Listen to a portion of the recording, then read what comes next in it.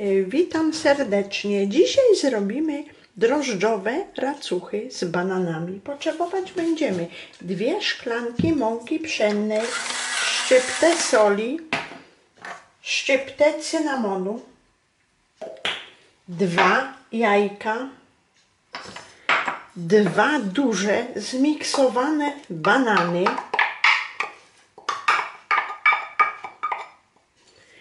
tutaj mamy roszczy. Mamy 3 deko drożdży, dwie łyżki cukru i szklankę mleka.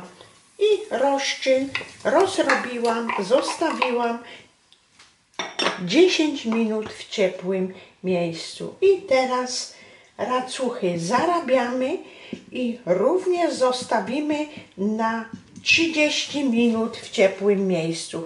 Jeżeli pomieszczeniu jest ciepło, to wystarczy 30 minut. Jeżeli jest zimno, to należy zostawić aż ciasto podwoi swoją objętość. I należy ciasto dokładnie wyrobić i później będziemy smażyć racuchy bananowe.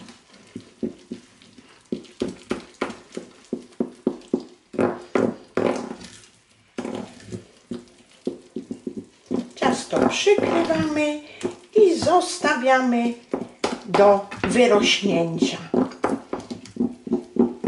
Wyrobione ciasto musi mieć jednolitą konsystencję.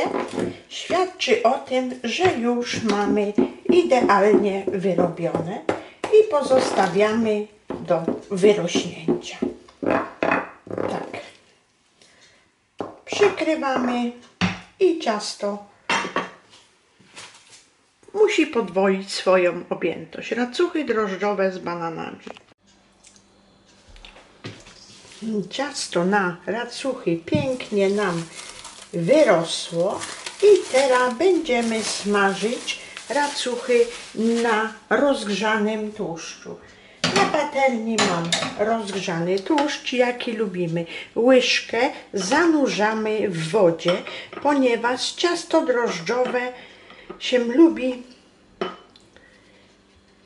kleić do łyżki, więc zanurzamy i kładziemy niewielkie porcje ciasta na rozgrzany tłuszcz.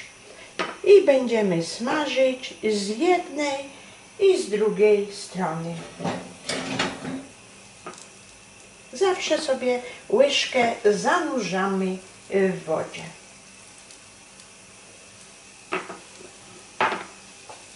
I tak wyglądają racuchy drożdżowe z bananami. Smażymy na złoty kolor z jednej i z drugiej strony. I tak oto racuchy drożdżowe z bananami mamy usmażone. Zdejmujemy na ręcznik papierowy. I tak jak już wspominałam, łyżkę zanurzamy w wodzie i układamy porcję ciasta.